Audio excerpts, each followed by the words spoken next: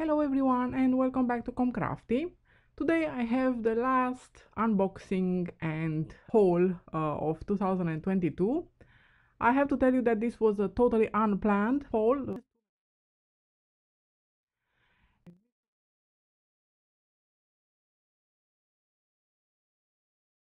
But uh, I felt I should get new one since I was ordering a new punch anyway. So this new uh, punch is from Dress My Craft. I checked this company is an Indian company and I think it works absolutely perfect for me at least so far. I took the opportunity to order another punch and this is a, a notch punch, corner and notch punch. Before I did the notches in my pockets, if you remember with that flower, I used half the flower punch. It created like a circle with some petals in it. but obviously that wasn't professional enough and so I thought I should buy this one. So it this one uh, around the corner on one end and the other one creates this notch which I like very very much how it looks and I can't wait to actually uh, start using it. So this is how it looks on black for you to see better. I really love it. Okay, so these are the two no, uh, punches and like I said in the beginning my uh, I misplaced I lost my bone folders so I thought I should buy two new bone folders. And this is the scoring tool which can also be used as a bone folder but it's less comfortable than the bigger one that I bought. So you can see there that I uh, pressed harder a little bit and it almost went through the paper. So the idea here is because it also has a rounded tip to uh, go lightly and uh, this is the big bone folder with which all you do is basically fold your papers. Uh, cardstock no matter how thick. Being so big it has a bigger force and it uh, fits very well in the hand. Like I said the scoring tool can also be used as a bone folder but it's less comfortable obviously then I bought some more black cardstock. It has 225 gram per square meters. There are 20 sheets in the package and I have worked with it before. I am currently with, working with it and I like it. So I continued.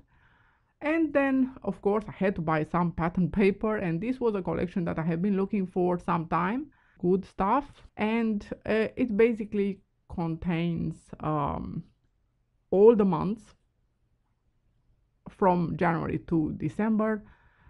And to be honest, like many of the projects this year, I had planned this one as well at the end of last year. I wanted to make a monthly all year round album, basically to document our year, uh, whatever year that will be, month by month. And I love the collection. I love the colors it's using. It's very 70s. I think the creator of this collection has has been an adolescent uh, in the 70s, uh, you will see that um, the colors are very and the style of the collection is uh, very much so. It has music tapes uh, that what i grew up with and it's a very optimistic collection. So um, i really like it very much. It's very much oriented toward documenting our uh, days our weeks our months our year basically and it's optimistic very optimistic and i like that a lot.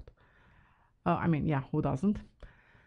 As you can see as we are going uh, moving through the months uh, in march it's uh, become more green and more plants start to appear more fruits in the summer like peaches and so on. But you can see that the 70s um, motives appear very much like the rainbow the color combinations um, and there are very nice sayings uh, by the way. I will actually try to sorry for that try to get to some now. Let's see if i manage. So for example uh, let's see if i can reach may in time.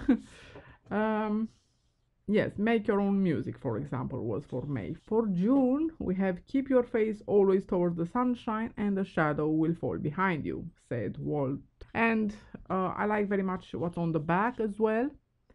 Then we have July with happy vibes and happy little life and the roller skates which I think uh, we can all remember that is very much uh, an image of the 70s and the camera. I love the camera then we have august where life is peachy and it says if you have good thoughts they will shine out of your face like sunbeams and you will always look look lovely.